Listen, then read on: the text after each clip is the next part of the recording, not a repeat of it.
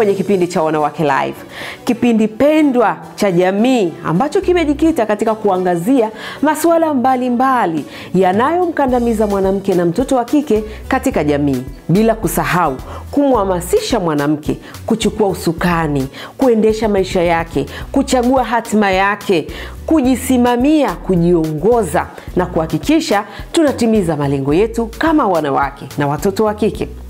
Katika kipindi hiki tunaendelea na vipindi ambavyo tumevifanya mkoa wa Mara kwa ajili ya kuangalia moja kati ya changamoto kubwa ambayo inaikumba mkoa wa Mara, changamoto ya ukeketaji, ambao pia ni sehemu ya ukatili mkubwa sana wa kijinsia dhidi ya wanawake na watoto wa kike.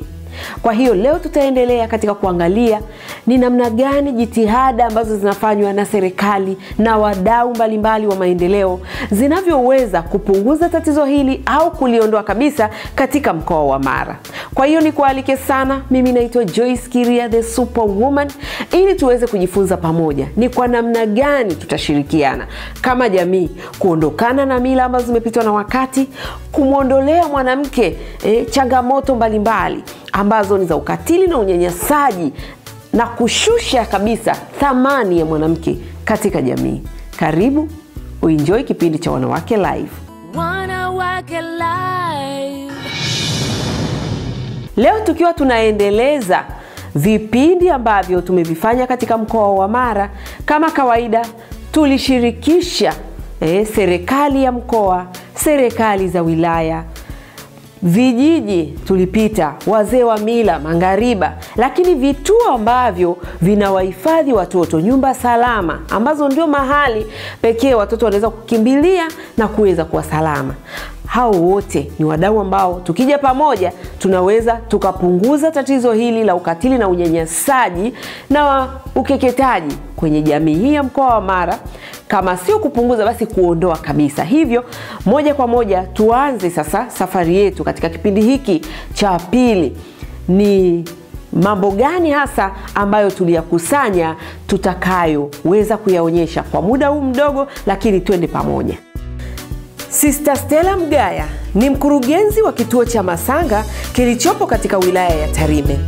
Ushirika huu ulianza mwaka 2008 kama jibu la wananchi wa jumuiya ya hapa ambao walikuwa wanakuja kwa mabinti wa upendo kuomba wawafiche watoto wao wakati wa ukeketaji ili wasikeketwe, lakini pia mabinti wenyewe walikuwa wanakuja kuomba wafichwe.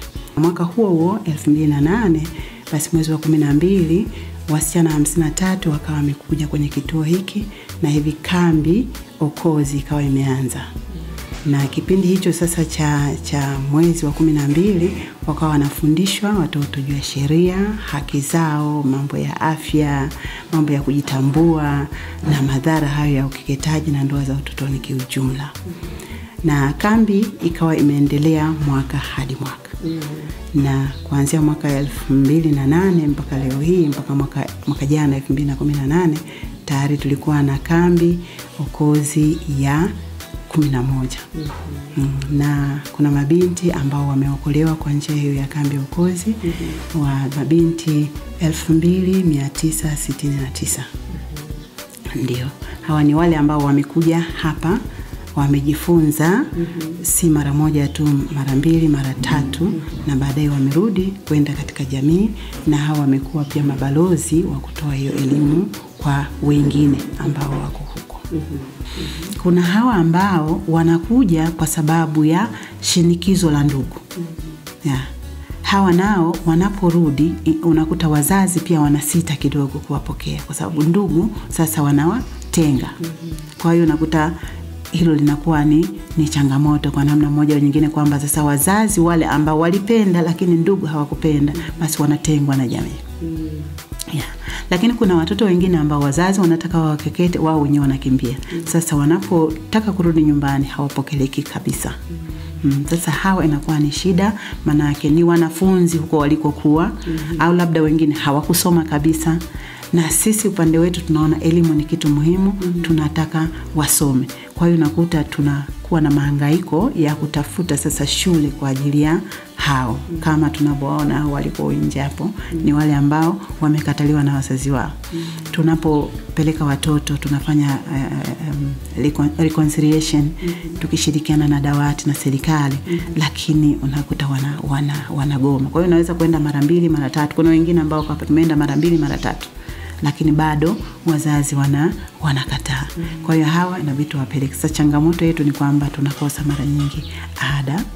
Kwa hiyo nakuta tunawapeleka pengine kwenye shule za mbali ambazo watu wenye shule wanakubali kupokea bila ada kwanza wakati huo tunatafuta tafuta. Kwa hiyo hiyo ni, ni changamoto kubwa ambayo tunaiona. Wanawake Live.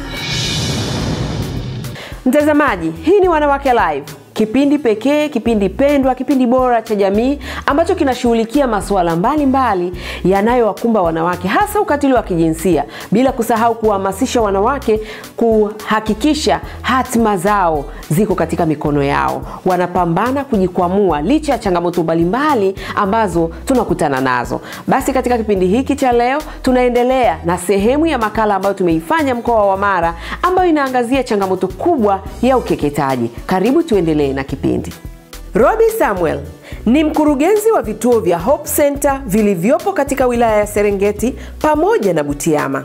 Katika msimu wa ukeketaji wa mwaka huu, kituo cha Hope Center nyumba salama tumefanikiwa kuwaokoa wasichana 156 ambao walikimbia ukeketaji na wasichana sita ambao tayari wao walishakeketwa na walipata hifadhi kwa ajili ya kuweza kutoa ushahidi wao mahakamani.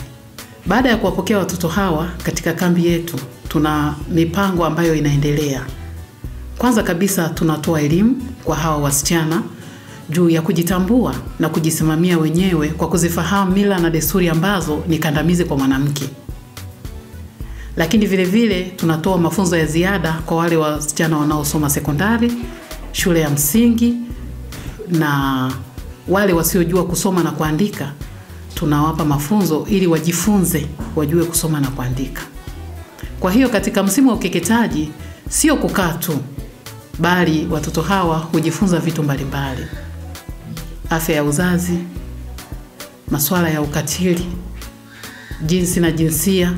Hiyo yote ni kumjengea uwezo huyu mtoto wa kike ili aweze kujiamini na kujisimamia mwenyewe punde atakaporudi nyumbani.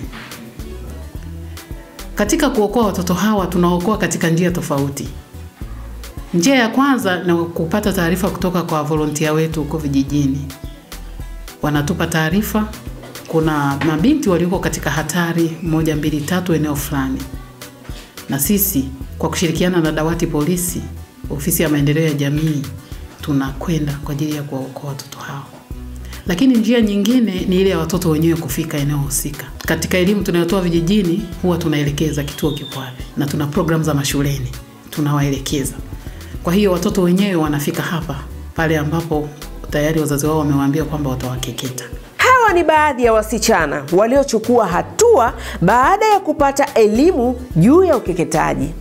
Kipindi nilikuwa nakimbia ukeketaji, nilikuwa katika hatari kubwa sana, kwa sababu hata mamangu alikuwa yuko ngaliba kwa, hiyo hata usiku wowote ange, angeweza amke anikekete, lakini namshukuru Mungu aliniepusha siku akuweza kufanya hicho kitendo.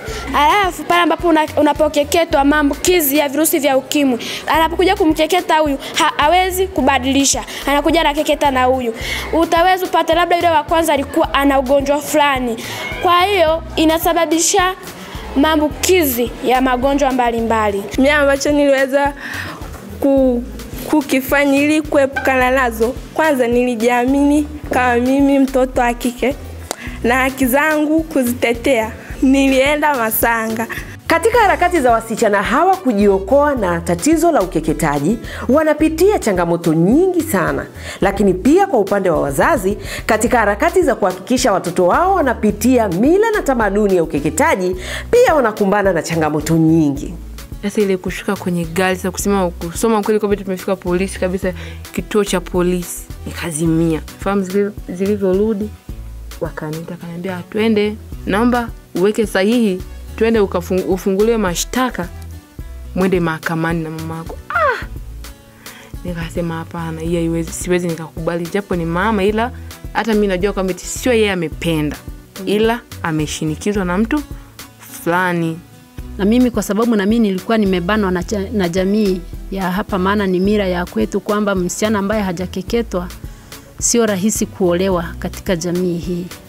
Na sasa unapofikiri, unapokuwa sasa na mtoto wa kike unajiuliza sasa, kama sio wa kuolewa hapa, wewe utampeleka wapi? Na watu wanakaa na matusi mengi, wanakutukana o mara amekaa yeye ndi ana, ana, ana, ana, kuna majina wanaita iti amanyinya manyinya hao, ina maana unaweza ukaolewa kwenda kwenye familia, lakini wanapofanya hata harusi haushirikishwi na sherehe zao za kifamilia haushirikishwi. Kwa hivyo na mimi nikaona labda ni kumpoteza mtoto. Kwa hivyo na mimi nikaona ngoja niungane nao ili kwamba ni kweli atimize haki zao za au haki za mira zetu. yule mdada akasema sasa mimi hapa nafanyaje nikamwambia naomba tu niandike maelezo kuna ile karatasi unapewa unaandika nikaandika maelezo nikamwambia naombeni mwache mama ila siku akirudia basi ndo at least mfanye maana mimi na imani sio kupenda kwake ila ameshinikizwa na mtu fulani. Ndo nikawa nimetoka naye mama kumbe alikuwa ameshatoa nini? Maelezo. Kwa hiyo sisi kama dawati la jinsia tuna dili au tunapokea taarifa za kesi hizo zote katika ofisi yetu ya dawati la jinsia na watoto. Tunafanya kazi kwa kushirikiana na wadau mbalimbali ikiwepo shirika la Hope for Girls and Women Tanzania chini ya kituo cha Hope Center ambacho mara nyingi huwa tunashirikiana nao kutoa msaada tunakuhitaji msaada wao, hasa inapotokea muda kina mama wamefanyiwa ukatili, mfano muda mama amepigwa, anakuja kuripoti katika kituo chetu, mwanaume amemfukuza. Sisi kama dawati hatuna sehemu maalum kwa ajili ya kuwahifadhi hao akina mama. Kwa hiyo tuna tuna, tumeshafanya mahojiano naye, tumeshafungua kesi, wakati tunafanya process za kumtafuta mshtakiwa, tunamhifadhi katika kituo cha Hope Center kwa ajili ya usalama wake na kwa ajili ya kufanya taratibu zingine za kisheria. Vile vile tuna tunapokuwa tunawapokea wasichana hasa katika kipindi hiki cha ukeketaji, kwa mfano mwaka jana mwaka 2018 tulipokea mabinti zaidi ya 156 ambao tulikuwa tunapata taarifa mbalimbali kutoka kwa mainfoma wetu. Kwa hiyo tunapokuwa tunapokea zile taarifa, sisi kama dawati la jinsia tunazifanyia kazi kwa uharaka ili kuweza kuwaokoa wale watoto wanapokuwa wapo katika hatari ya kufanyiwa ukeketaji. Kwa hiyo tunapokuwa tukishawapokea wale watoto katika dawati letu la jinsia, tunafanya nao mahojiano, wanatuelezea. Tukishamaliza hapo, basi tunawakabidhi katika kituo cha Hope Center kwa ajili ya hifadhi yao na kwa ajili ya usalama wao kwa wakati huo. Tunapata changamoto nyingi. Kwa mfano, inapotokea sasa wakati wa ukeketaji, tunahitaji kwenda kuokoa labda msichana, let's say tume- tumepewa taarifa sasa na informa kwamba labda kijiji cha Merenga kuna binti au kuna mabinti wanataka kufanyiwa ukeketaji tarehe fulani. Tunachokifanya sisi ni kuchukua zile hatua za haraka.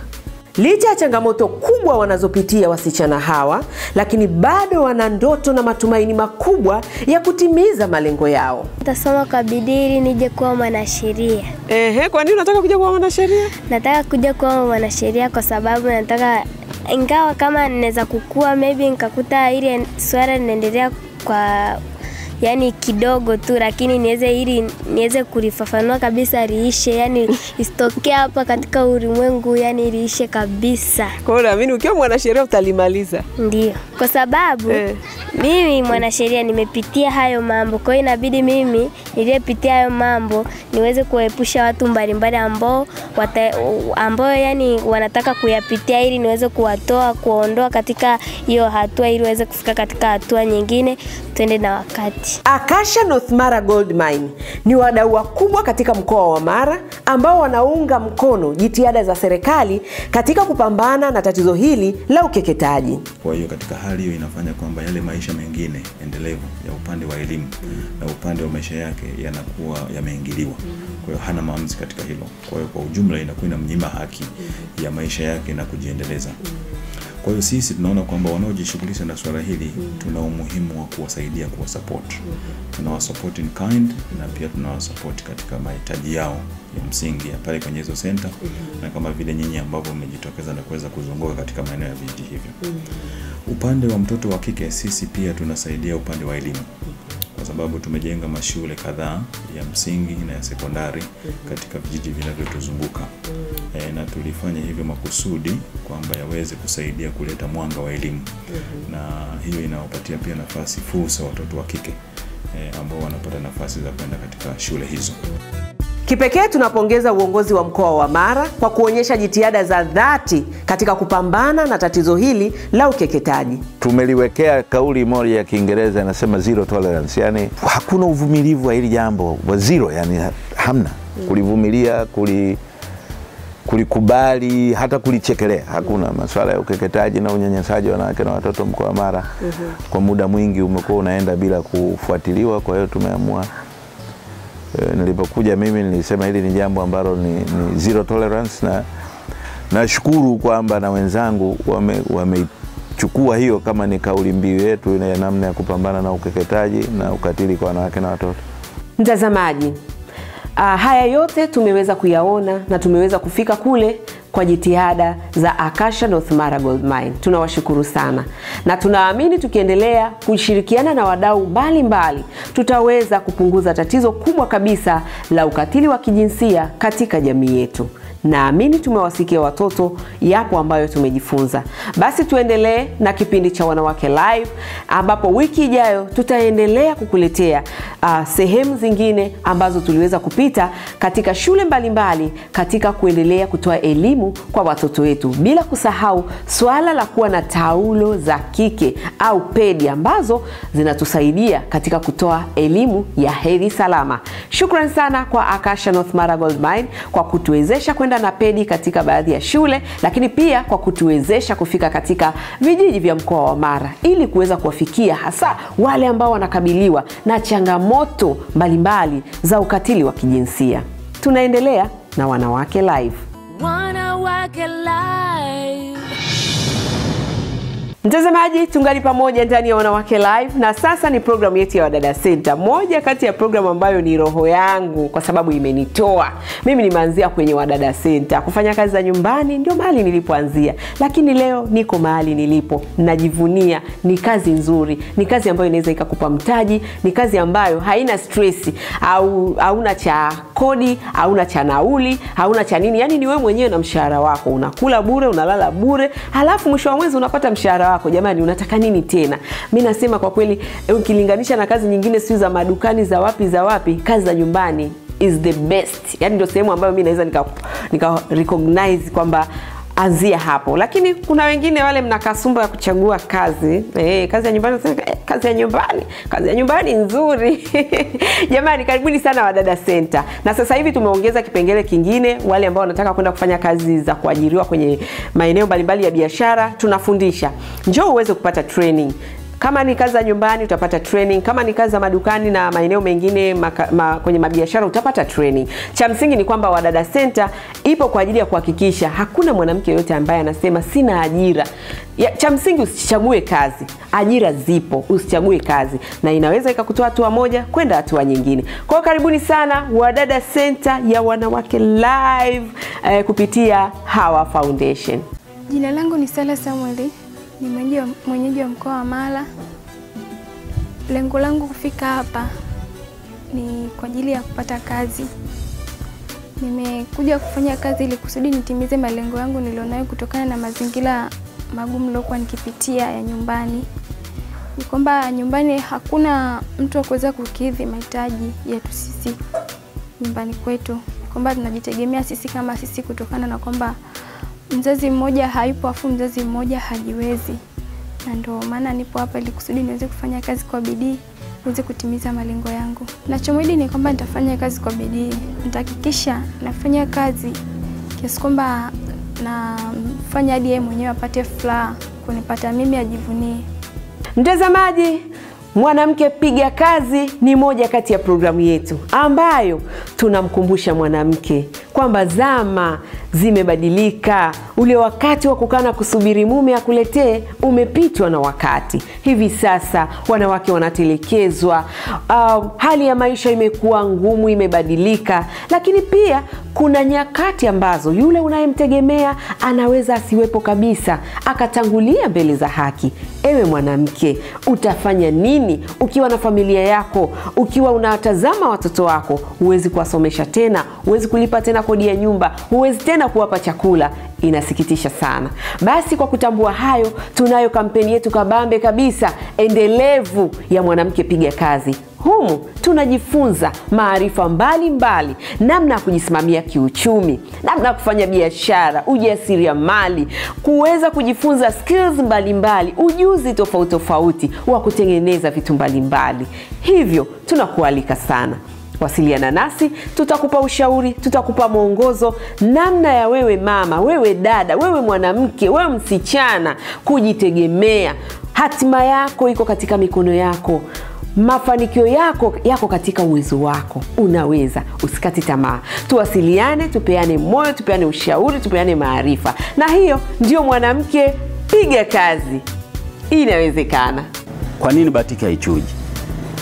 Asili ya rangi ya batiki hai, hai, haiwezi ku, kuzuliwa na kitu chochote, yaani haipati madhara yoyote. Mfano, haiwezi kupata madhara kutoka kwa jiki au kwa rangi ile ya, ya madoa Yaani batiki hapa ilivyo, hata ungemwagia rangi ya madoa hapa haitoki.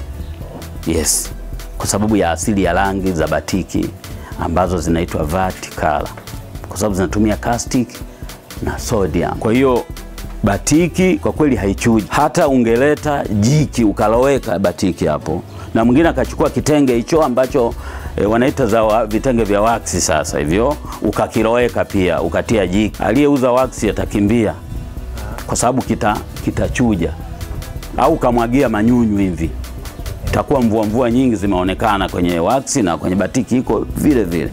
Wanawake Live. Kipekee kabisa tunaendelea kushukuru Akasha North Mara Gold Mine ambao wao wametuwezesha Wanawake Live team kufika mkoa wa Mara kuweza kuzungumza na wadau wote kuanzia serikali ya mkoa, wilaya na wadau wanaofanya kazi na jitihada kubwa za kuhakikisha wanapunguza tatizo kubwa la manyanyaso, ukatili wa kijinsia na ukeketaji katika hiyo jamii. Akasha North Mara Gold Mine, asanteni sana. Lakini pia nishukuru sana Mativila Beach Hoteli iko Musoma, Goldland Hoteli iko Tarime na Giraffe Hoteli ambayo iko Serengeti. Asanteni sana viongozi wote, mkuu wa mkoa wa Mara Mheshimiwa Adam Malima pamoja na viongozi wako wakuu wa wilaya, asanteni sana. Tuendelee kufuatilia Wanawake Live. Wiki ijayo tutakuwa pamoja tukiendelea na makala hizi. Nishukuru sana Lizzy Collection kwa kunipa mwonekano wa mavazi, Rosie Brazilian kwa kunipa mwonekano wa nywele. Naitwa Joyce Kiria the Superwoman. Ciao.